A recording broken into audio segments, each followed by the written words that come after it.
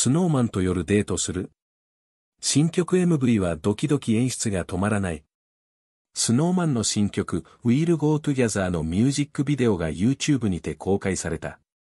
この楽曲は2月14日にリリースされるスノーマンのテンスシングルラブトリガー We'll Go Together の表題曲の一つ。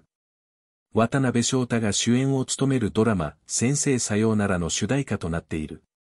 公開された MV は各メンバーが考案した理想のデートシーンで構成されており、映像を通じて9通りの夜デートのシチュエーションを疑似体験できる。